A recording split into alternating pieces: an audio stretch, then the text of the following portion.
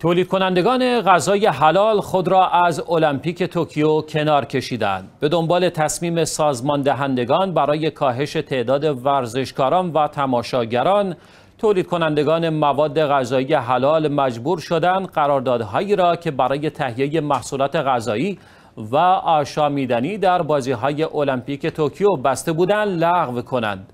هفته گذشته برگزار کنندگان هر دو المپیک و پارالمپیک تصمیم گرفتند تماشاگران خارجی را از ورود به مسابقات محروم کنند و صدها هزار بلیت خریداری شده در خارج از کشور پس گرفته شد.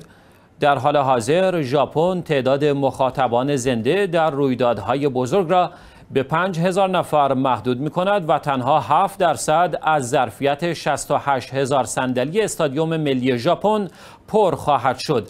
احمد حسینی حسن از یک مؤسسه ابتکار غذایی اسلامی در مالزی با نام سراشپز من در این باره می‌گوید پیگیری در زمینه پذیرایی مواد غذایی غیرعادی است زیرا وضعیت کنونی در تماشای بازی ها بازار هدف تولید کنندگان غذای حلال را از بین می‌برد. وی ادامه داد پیگیری قراردادها عملی نیست زیرا تماشاگران در حال حاضر محدود هستند و با قوانین جدید برای حذف مخاطبان خارجی. سی تا چهل درصد تماشاگران مسلمان که قصد داشتیم به آنها خدمات ارائه بدهیم به صورت بالقوه دیگر وجود ندارند.